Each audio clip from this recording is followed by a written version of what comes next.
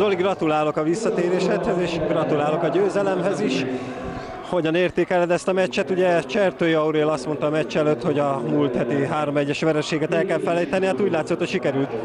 Igen, hát mindenképpen, az, mindenféleképpen azon voltunk, hogy javítsunk a múlt heti teljesítményen, sajnos az nagyon rosszul sikerült, nagyon csalódottak is voltunk.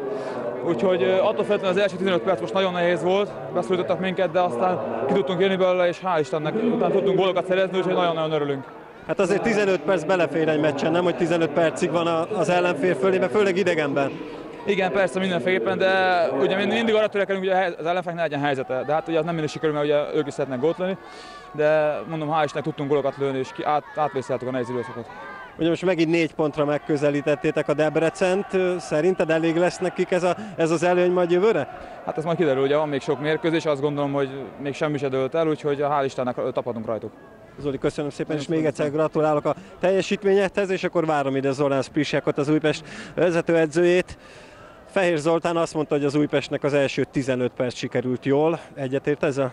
Igen, hát az az első 15 perc uh, voltak lehetőséget, amit, amit uh, jobban ki kellett használni. Um, mondom, sajnálom, uh, sajnáljuk, hogy nem, nem uh, rúgtunk gólt ottan. Azután uh, még egy kicsit vissza, vissza, visszafogtunk, visszaálltunk, és onnan, onnan, onnan uh, kezdtek a gondok. Ott egy kis uh, szerencsés volt a győrnek, hogy az első gólt berúgta, de a másik félben mondom, két, két hibát egymás után, két belső védő után, meg kiállítás, akkor már sokkal-sokkal nehezebb volt a dolgunk. Igen, pont ezt akartam mondani, hogy korábban mindig a védelemmel, a belső védőkkel volt probléma, akkor nem lehet megnyugodni most az Újpest szurkolóknak? Hát meg kell nyugodni, persze most, most amikor ilyen, ilyen, szituáció, ilyen szituáció jön, és így, így kapod a gólt, akkor, akkor lehet uh, a kritikát uh, osztani, de végül mondom, egy, egy kis koncentráció hiba, hi, hiány volt, és ott mind a két védő uh, hiányozott, meg lemaradt, és ebből, ebből, ebből kaptunk a gólt. Köszönöm szépen, és sikeresebb folytatást kívánok. És érkezik ide Csertői Aurél, aki ugye a mérkőzés előtt azt mondta, hogy el kell felejteni Fehér Zoltánnak, és ezt mondtam, hogy, hogy úgy, úgy látszik sikerült elfelejteni a múlt heti meccset. Igen, tehát azért csak nem felejtettünk el fotbalozni, ha bár egy jó csapatot tudtunk ma legyőzni.